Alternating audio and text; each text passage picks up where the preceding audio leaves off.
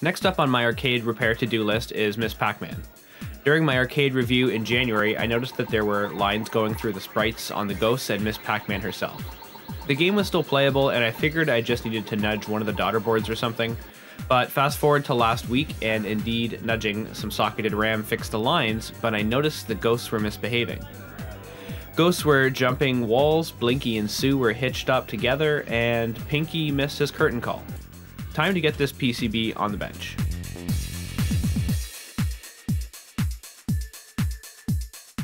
I unlatched the top of the machine, unplugged it, and with a rolled up yoga mat hidden behind the machine to rest the monitor on, I carefully opened up the cabinet.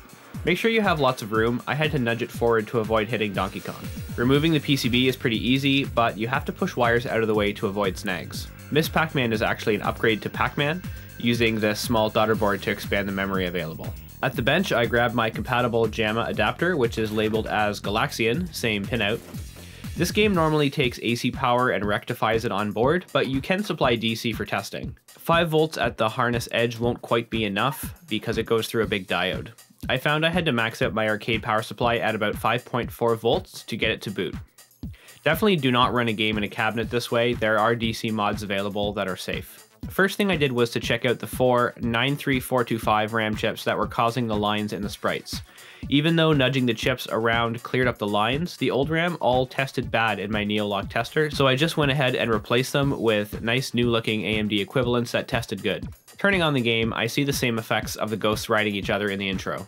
I can try the test mode, but all I get is memory okay, although according to the manual, this can only check the program ROMs and a row of 2114 SRAM that's already been replaced on my board. Taking a look at the schematics, I decided to start checking chips that feed into the sprite graphic ROMs. Since the ghosts were intact, just in the wrong place, it seems the ROMs were being addressed correctly, just kind of at the wrong time.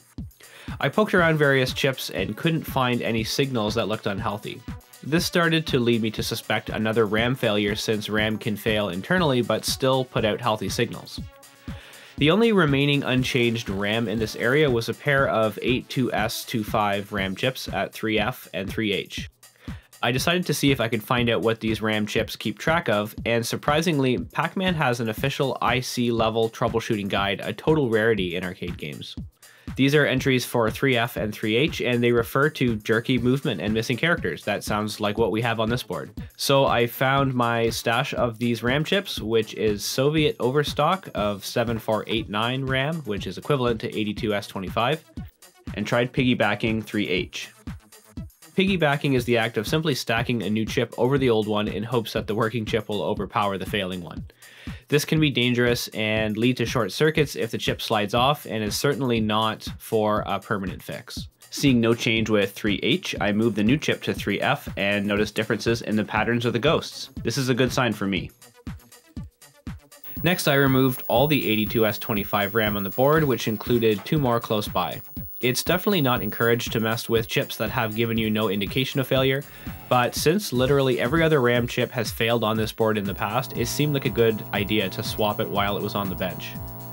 Once the chips were removed, I noticed how discolored the circuit board was underneath each of these chips, evidence that the originals ran pretty hot.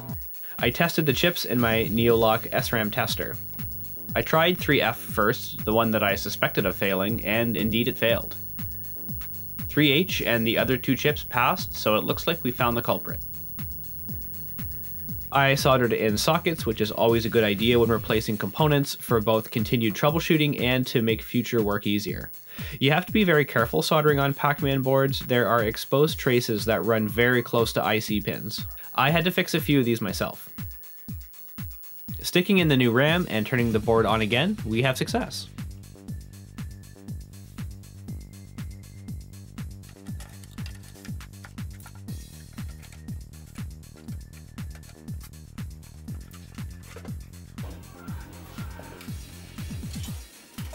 Well, that about wraps it up for this repair. Stay tuned for the next one, which I think will be my Tetris with faulty graphics. Until next time.